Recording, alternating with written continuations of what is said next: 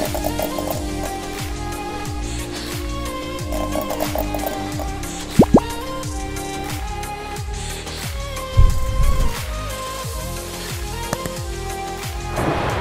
Guys and welcome back to another video. And before we get into today's video I just want to do the usual. So my name's Amber I upload beauty fashion and lifestyle content. If they're the type of videos that you like to watch then why not hit that subscribe button and come along and join my little family? And if you're already part of the family then why not make sure that notification bell switch on just so you're notified of whenever I upload a video? Why not give me a thumbs up and leave me a comment in the, the comment box down below? And now we can get right into today's video. And I am back with a super super exciting review video for you today guys. I feel like it's been a hot minute but this palette just caught my eye and I had to review it. So this is a new launch from Revolution, but this is from their Makeup Obsession range. And it is another launch with a, an amazing influencer called, she's known as Illuminati, but she's actually called Tiffany. And I believe that she actually got big through TikTok videos. She is absolutely insane. I will like put a picture up of one of her looks here. She is a talent. She's absolutely incredible. So for her to get the opportunity to come out with a palette with the brand, I just find absolutely amazing. And this was just completely and utterly up my street. So there was two parts to her collection. The first was the liners. So I'm just going to talk about these first, then we'll talk about the palette. So this is the Makeup Obsession Kaleidoscopic Dreams collection with Illuminati. And these are the so-called eyeliners. So you get five eyeliners in here. They are like kohl pencil liners. They're so, so pretty. And these were £12 for five, which I thought was a really good price. These work out at £2.40 each, so I thought that was really reasonable. So I'm just going to go ahead and do some swatches of them because these are stunning. I am super, super impressed with these. I've actually used them in the look that I've created today. I absolutely love them. I think they're absolutely gorgeous and I do think they're a really good buy for £12. So let's move on to talking about the palette. So the palette is also called um, Kaleidoscopic Dreams because that's obviously the collection and it's got this really like hypnotic packaging to it. This was £20, 20 shades in here altogether. So there is a mixture in here of like pressed pigments, like shimmer shadows, matte shadows. There's a little bit of everything in here and this is what she looks like it is super super pretty though um, and i do like they're all like the fact that they're all round pans there isn't a lot of wasted space here though so i suppose that is a good thing i just think it's stunning look at how pretty she is such a nice selection of shades now i'm not really sure how to go ahead and swatch this we're going to start with like the outer rows first and then work our way in. So let's just get right into the swatches. So I'm just going to start with this row here and include these two shimmer shades in that swatch as well. And then we'll move along to the other side of the palette. So that is both ends of the palette. So I'm going to move along to this bigger outer circle for the next row. So that is the outer swatches super super pretty very nice and bright and then we're going to swatch the inner circle. So that is all of your swatches. So that was all of the swatches. As you can see the mattes do swatch quite chunky, but they actually don't perform like that, when they're on the eye. And I always like to say when I'm doing palette testing videos that sometimes good swatches don't necessarily mean that it's going to perform well on the eye and bad swatches don't necessarily mean that it's going to perform bad on the eye. So you just have to play with it and see what's going to happen. And this does perform nicely on the eye, blended out really easily. Um, I didn't have any issues with any patchiness or anything like that. I found that it did blend out really nicely. I think it is an absolutely stunning palette. You are getting a hell of a lot of bang for your buck. So it is an absolutely stunning palette. It definitely gets a thumbs up from me.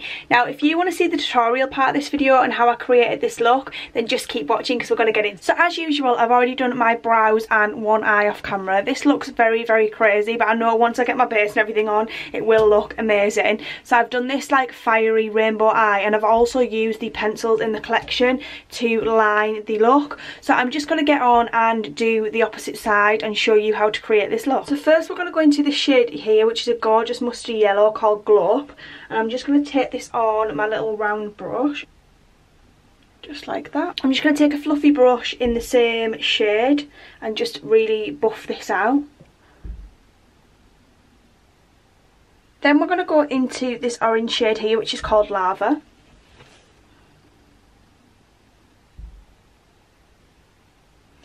And I'm literally just going to pack this on next to where I've laid down that yellow shade. And then blend out again with the fluffy brush. Then I'm going to go back in with my little round brush. And I'm going to go into this lovely red shade here which is called Poison. And I'm going to sort of flick this out so it's almost like a wing. Like so. Back in with that fluffy brush. Now I'm just going to go in with a little bit of my Benefit Boing Cakeless Concealer and I'm just going to use a little bit of this just to cut the crease. Just taking this on my really flat brush. I'm just going to go back into that red lava shade and I'm just going to literally fluff this edge and I'm going to go into, I don't even know how to pronounce this, this gold shade which says, says it's called Kintsugi, like so. I always do tend to use shimmers on a finger because I just feel like the colour pay off so much better. And then to give it a little bit more extra sparkle, I actually want to go in with this shade here which is called Opal Light and this is the most stunning oh god honestly it's lush i'm going to take this on the packing brush and i'm literally just going to stick that over the top of where i've laid down that gold shade. Now I'm going to show you how I um, lined it and going with the liners. So first I'm going to be using the green liner which is called Canary and I'm going to take this where I've placed the yellow shade down just in the inner corner here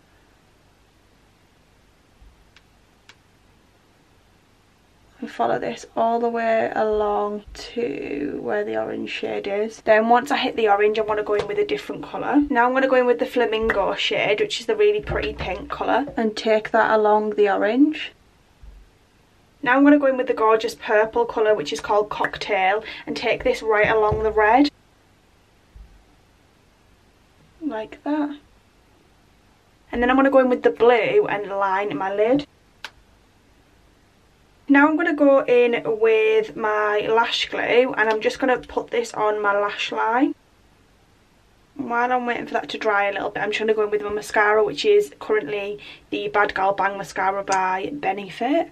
And I'm just going to coat my lashes. I'm not going to do my bottom lashes yet because I am actually going to finish this eye look off once I've done my base. And then today I'm using this these lashes which are um, Tatti lashes. I can't quite remember the style but I will link them down below. And literally I'm just going to drop these where I've placed the lash glue down. Ta-da! So I'm just literally going to pop off camera and do my base and then I'm going to come back and just finish off um, under the eye area. So I've just finished doing my base and I've done the rest of this eye. So literally all I'm going to do is I'm just going to firstly line the waterline with this kohl pencil from the collection which is called Ocean. And then I'm going to go in with this blue shade here, which is called Electric, and go on top of that. Then I'm going to put a little bit of mascara on my bottom lashes, finish off this look, and then we're going to get back and talk about my thoughts and feelings on the collection. So guys, we're back, and this is the completed look. It's very, very stunning. I'm very, very proud of it. Oh. It looks so pretty. Um, I'm just going to give you my thoughts, my final thoughts and feelings on the collection. Um, now you've seen the tutorial part and you have seen swatches and everything. I am super, super, super impressed with the liners. They definitely get a 100% thumbs up from me. I think they are just such great liners. They remind me very much of the Urban Decay liners. They I wouldn't say they glide on as smoothly as the Urban Decay ones, but they're definitely in that sort of ballpark. And in terms of the palette, the palette is absolutely stunning. They are, it is a gorgeous array of colours and shades and um, you've got everything you can need to create a natural neutral look or a very bright arty look. It performs really well and it definitely gets a thumbs up from me. Well done Tiffany on this absolutely incredible collection. It's absolutely stunning um, and I can't wait to see what you create in the future. I would love to know if you have bought the collection or if you were going to be buying it. Let that know. Let me know that down below. What are your thoughts and feelings after I've done this video? Do you love it? Do you not love it? I'd love to know. Anyway leave that down below. So guys i hope you've enjoyed watching this video and i shall see you in the next one. Thanks so much for watching